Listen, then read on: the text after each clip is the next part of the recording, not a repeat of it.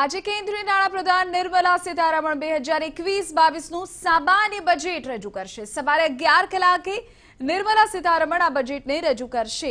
આ બજેટ કેટલી બધી બાબતોની સાથે તેને જોડવામાં આવે તો તે ઐતિહાસિક હશે. કોરોના મહામારીના કારણે પાટા પરથી ઉતરી ગયેલી ઇકોનોમીને મજબૂત કરવા કોઈ મહત્વની જાહેરાતોની સંભાવના છે. તો કોરોનાના કારણે આ બજેટ ઇતિહાસમાં પ્રથમવાર પેપર પર નહીં છપાયો હોય.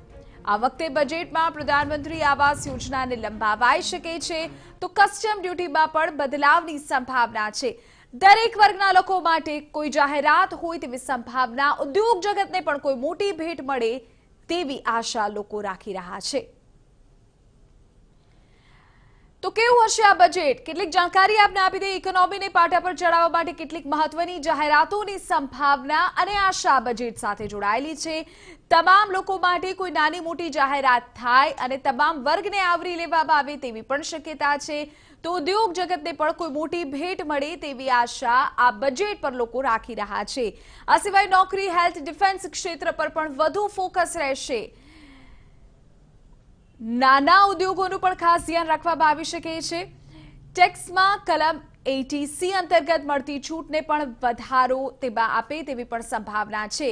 ટેક્સમાં છૂટ ત્રણ લાખ રૂપિયા સુધીની પણ થઈ શકે છે. તો પાંચ લાખ સુધીની કમાણી ટેક્સ ફ્રી થઈ શકે છે.